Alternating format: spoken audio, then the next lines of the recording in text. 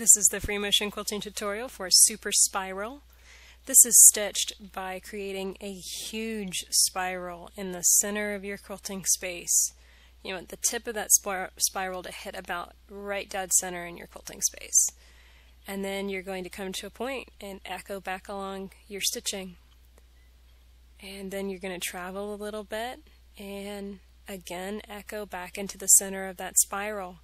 And you're going to continue doing this, echoing in and then echoing back out, always hitting that center tip whenever you reach the center. And this is going to fill your space with this giant spiral shape. And it looks really, really neat. And in this video, I did film this and edit the video down to be normal speed. So you can see that it is a very fast design, but that you want to still be careful to maintain that good distance and consistent distance from your previous line of stitching. And here's what it looks like when you finish Super Spiral.